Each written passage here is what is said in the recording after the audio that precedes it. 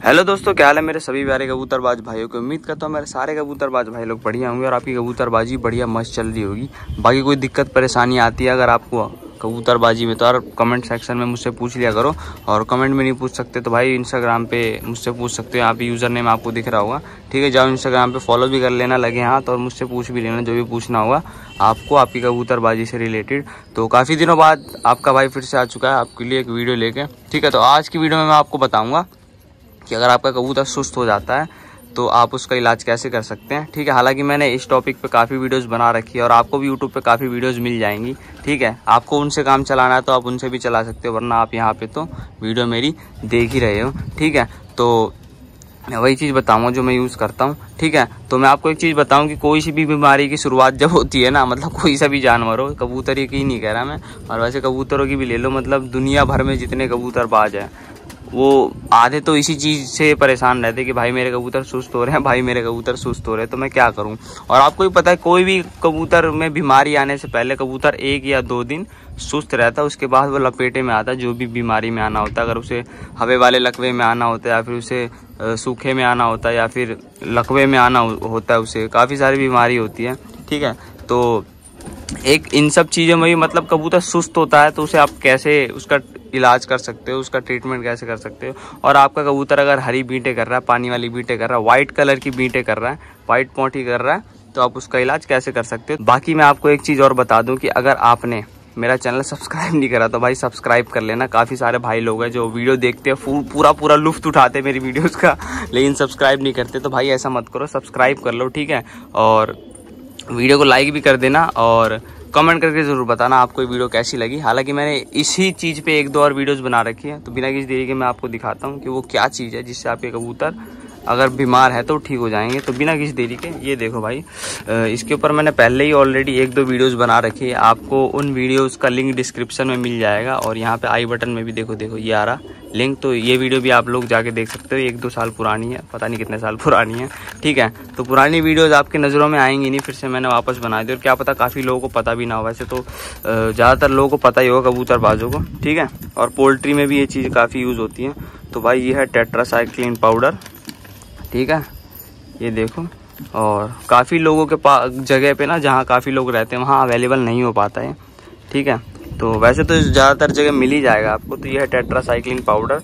और मैं आपको बताता हूँ कि इसे आपको अपने कबूतरों को कैसे देना है। तो जैसे कि आपका कोई भी कबूतर सुस्त हो रहा है, ठीक है, आपको दिख रहा है कि हाँ वह साइड में बैठ रहा है। सुस्त होने का मतलब क्या होता है, आप कैसे पहचानोगे कि अपना आपका कबूतर दाना पानी खाएगा और एक जगह साइड में जैसे वो कबूतर बैठा है ना, ठीक है, अपना बैठेगा। वैसे ये तो धूप से छुप रहे हैं, अब धूप लग रही है तो तो आपका कबूतर बिल्कुल साइड में बैठ जाए। फिर आप दाना मारोगे ना, फिर भगते हुए आएगा, दाना खाएगा। फिर जैसी दाना खत्म हो जाएगा, वैसे जाके फिर साइड में बैठ जाए। और काफ़ी कबूतर तो ऐसे होते हैं दाना ही नहीं खाते।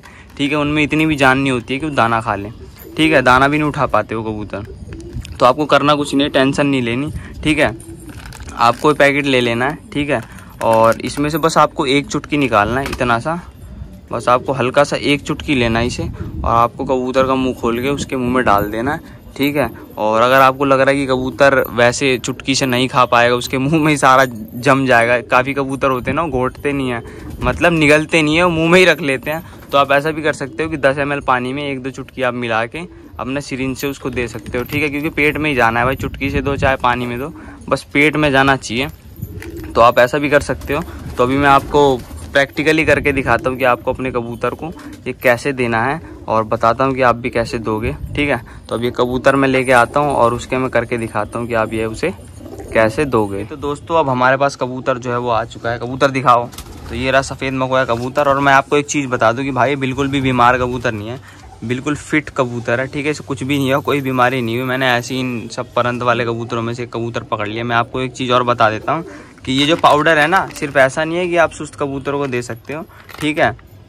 आप ऐसे भी अपने कबूतरों को घोल के पाउडर पिला सकते हो। मैंने इसके ऊपर वीडियो बना रखी है। अगर आपके पास पचास साठ कबूतर हैं, ठीक है तो दो तीन लीटर पानी में मतलब जितना भी आपका प्याला है, बड़ा वाला प्याला है तो एक चम्मच डाल देना उसके अंदर और छोटा वाला प्याला है तो आधा चम्मच डाल सकते हो, ठीक है।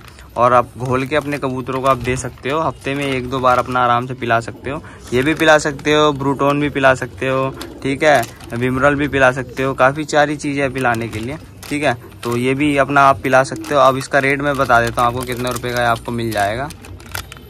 इसकी एमआरपी आपको दिख रही होगी। कहाँ गई एम आर पी चौरासी रुपये एट्टी फोर रुपीज़ का दिख रहा है आपको, लेकिन इतने का नहीं मिलेगा। आपको आपको मिलेगा सत्तर रुपये का। सेवेंटी रुपीज़ का है सत्तर पिचहत्तर रुपये का आपको मिल जाएगा, ठीक है? एट्टी फोर रुपये लिखा हुआ लेकिन इसके ऊपर, ठीक है? तो यही सत्तर पिचहत्तर रुपये का आपको मिल जाता है, मस्त सस्ता सा अपना जुगाड़ अपने कबूतरों घोल के मज़े से पिलाओ, कोई कबूतर बीमार नहीं होगा भाई, पूरी छत पे, अगर आप ये अपने कबूतरों को देते हो तो ठीक है? बहुत मस्त चीज़ है, जो मुर्गेबाज लोग होते हैं मतलब पोल्ट्री फार्म वाले, वो भी इसे देते हैं, ठीक है? देख लो इस पर लिखा हुआ है क्या क्या not for human use for animal treatment only देखो यहाँ लिखा हुआ है ना रेड कलर में फुल ये बकरा भेड़ बकरी सब छपे हुए हैं इसके ऊपर। तो आप लोग मस्त लेके आओगे टेट्रासाइक्लिन पाउडर। पीला पाउडर भी से बोला जाता है ज़्यादातर जगह। आप जाके बोलोगे कि पीला टेट्रासाइक्लिन पाउडर दे दो तो आपको दे देंगे केमिस्ट वाले। आप ये वीडियो भी दिखा देना तो फटाफट से मैं आपको बताता हूँ कि ये देना कैसे ठीक है? तो मैंने आपको चीज़ ये बता दी, आप नॉर्मली खरीद के रख लो। अगर आपका कबूतर बीमार हो, चाहे ना हो, आप किसी भी कबूतर को दे सकते हो। देखो इसको बीमारी बीमारी कुछ नहीं आप इसे दे दो, इसे कोई दिक्कत नहीं होगी, ठीक है? जबकि और इसका पेट मस्त हो जाएगा। तो अभी मैं इसको देता हूँ, भाई, कैमरा थोड़ा तो इसे हम फाड़ लेते हैं। ठीक है? देखो, ये फट गया। और इसको हमेशा बंद करके रखना। देखो, मैं आपको निकाल के दिखा दूँ। थोड़ा मेरी हथेली पे दिखाओ। ओहो, ये देखो। ये आपको थोड़ा थोड़ा लगेगा मिल्क पाउडर की तरह, लेकिन ये मिल्क पाउडर है नहीं। ठीक है तो इसे पकड़ो वैसे। ऐसे करके पकड़ो थोड़ा ऊपर। और कैमरे पे उंगली मत डालना भाई। मैं सारा मामला यार, ज़्यादा ले लिया मैंने तो हाथ में। पानी में मिला देंगे हाँ एक, चलो यहाँ पे वो इसमें बाकी देखो, आपको कैसे करना है? आपको इतना लेना हाथ में, ठीक है? और आपको बस एक चुटकी उठाना है, देखो इतना। बस आपको इतना एक चुटकी उठाना देख रहे हो? ऐसा सा पीला, हल्का हल्का येलो कलर का येलोइश पाउडर है। ठीक है, आपको लेना है किसी डब्बे वब्बे में भर के रख लेना। ठीक है, और आपको बिल्कुल यूँ एक चुटकी लेना है इसको। देखो ऐसे। बिल्कुल। कोई भी कबूतर आपका सुस्त हो ना भाई, कैसे भी बीमारी में हो, बस आपको यूँ इसको एक चुटकी लेना है, ठीक है? और और देखो, ये कबूतर पे दिखाओ। आपको एक चुटकी लेना कबूतर का मुँह खोलना ठीक है? और पास लेके आओ थोड़ा।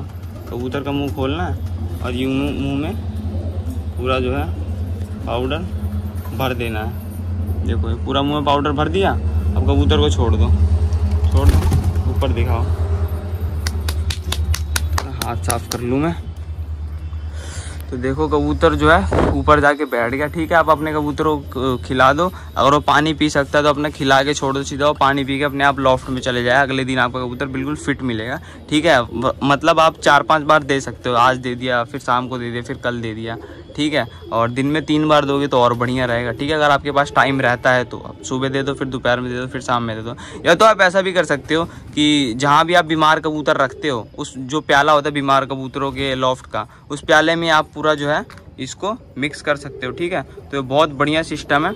अपना जो भी है खरीद के ले आओ, जाके केमिस्ट पे बोल देना टेट्रासाइक्लिन पाउडर आपको मिल जाएगा। ठीक है? तो बस यही थी आज की वीडियो। आई होप कि आपको वीडियो पसंद आई होगी। ठीक है? हालाँकि काफ़ी सारी वीडियोज़ आपको मिल जाएगी सुस्त कबूतर के इलाज के ऊपर यूट्यूब पे। आप वो भी देख सकते हो जाके। पैरासीटामॉल भी आप दे सकते हो। आपका कबूतर सुस्त होता है तो चौथी गोली। ठीक है? तो यही मेरे को एक वीडियो बनानी थी तो मैंने बना दी। उम्मीद करूँगा कि आपको वीडियो पसंद आई होगी। कुछ ना कुछ तो आपको इस वीडियो से नॉलेज मिली होगी। अगर मिली है तो भाई इस वीडियो को लाइक ज़रूर से कर देना। चैनल को सब्सक्राइब कर देना और कॉमेंट करके ज़रूर बताना क्या आपको इस पाउडर के बारे में पता था। और नहीं पता था तो भी बताना, पता था तो भी बताना, ठीक है?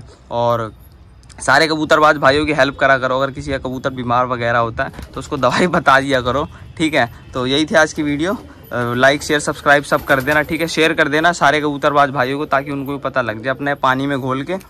कबूतरों को दो अपना, आपके कबूतर की छत पे मतलब आपके छत पे बीमारी नहीं आएगी कभी। अपना आप ये पाउडर दोगे तो ठीक है?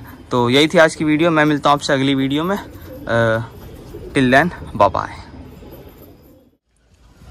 okay okay, तो दोस्तों देखो जैसे कि मैं आपको बता देता हूँ जैसे कि ये देखो मेरे पे इस वाले लॉफ्ट में होंगे चालीस पचास कबूतर होंगे तो आपको कितना इसके अंदर डालना है आप ऐसे भी डाल सकते हो अंदाजे से ये तो उस टाइम निकाला जो था मैं अरे तेरी भैंस की ज़्यादा गिर गया है तो।